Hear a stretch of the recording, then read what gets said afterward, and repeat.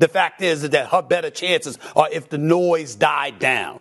How do you answer that assertion? Because they're talking about Vladimir Putin, obviously, when they're bringing that up. What do you say to that?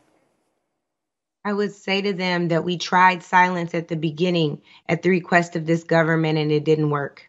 That's what I would say. The answer is very simple. And I would also say to check your bias because if the if it was an athlete who did not look like Brittney, who played in a male league and they were just as much of a superstar, there's no way we would be quiet. There is not a chance that we would be silent. And so that's what I would tell folks to one, check their bias. Dang, Brittney, You finna go to jail for a long time.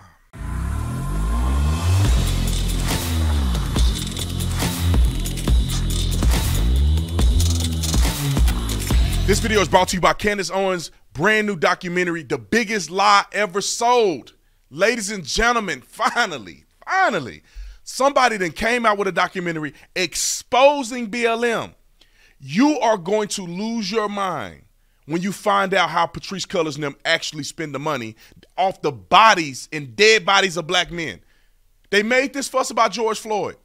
They raised all this money. George Floyd family didn't get a dime. You will find out more in Candace Owens' new documentary, The Greatest Lie Ever Sold. It is a Daily Wire Plus exclusive. So you got to go to dailywire.com forward slash Tatum.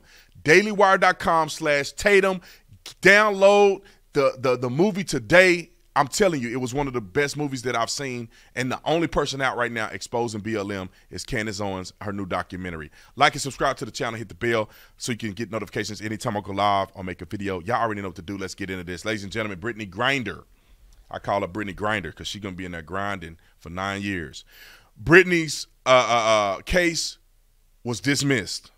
Let me say this. When I say case was dismissed, I'm sorry. Her appeal was was uh, dismissed, rejected let me give without the superfluous stuff. I think it's absolutely absurd that Brittney Griner has to do nine years in prison for what she did. It's absolutely absurd. However, uh, uh, uh, this is in Russia. Remember, you know all the black people complaining, including Brittney Griner. America, the, the flag never represented me. It ain't no freedom. I'm a kneel for the national anthem. Now you finna kneel in the Russian jail. Y'all always bashing America, and but you don't realize that other places don't give a flying flip about you. You won't do no criminal justice system in America is bad. You won't do no time for no vape pen. You go to Russia, they give you nine years. And here's the thing that that bothers me about this is that people are saying that she's wrongfully detained. Our platform and the opportunity to shout out a very special member of the basketball community. Brittney Griner's birthday is today. She's 32 years old. We want to continue to let her name be known, and we pray that it's been 243 days since she's been wrongfully uh, incarcerated in Russia, and we hope that she comes home soon and everybody's doing their part to get her home. There is a difference between an excessive law in another country than wrongful detention. She's not wrongfully detained. She she she pled guilty to this. She tried to appeal to to at least I guess present the fact that it was an accident that she didn't know that the stuff was in there, and maybe they'll lessen her sentence. But they said, go F yourself because we don't care about black and brown bodies over here. And so they sentenced her to nine years. President of the United States, Stephen Curry, all these nut jobs cannot be honest for 30 seconds about Brittney Griner. We can all admit that it's excessive for nine years. But an American hating Bigfoot it's kind of like you you reap what you sow. You talking all this noise about America now, now is America good to you now? Do you wish you was back home? Uh-huh. You want to be back in America where they treat you good? Oh, okay, okay. They don't care nothing about Bigfoot over there in Russia. Let me read a little bit of the information here from the article. It says Russian uh, court rejects Brittney Griner's appeal uh, for her nine-year uh, prison sentence for drug possession on Tuesday. The court ruled to uphold the sentence handed down to the WNBA superstar. WNBA. Nobody watches WNBA, but I guess they call them superstars. However, in a ruling, the court stated that the time Griner uh, will have to serve in prison will be recalculated. this this is the worst part right here. It will be recalculated, and they'll give her credit for a pretrial time.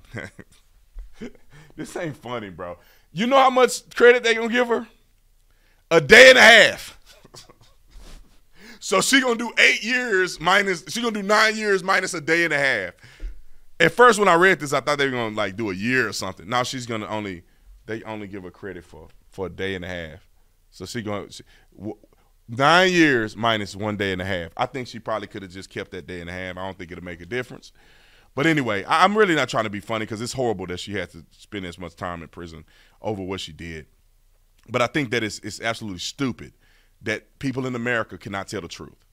Don't lie on the girl. It's wrong. We all know it's wrong, but don't lie on her.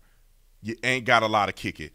She did what she did. Hopefully, other athletes will learn that you can't go over in other people's country cutting up because they ain't they don't treat you black people like they do in America. They love you in America. In these other countries, they'll send you to jail. That's what'll happen. Anyway, comment in the comment section. Do you think I'm tripping? Am my own or something? Like and subscribe to the channel. Go get Candace Owens documentary downloaded on dailywire.com forward slash Tatum. See y'all in the next one. I'm out.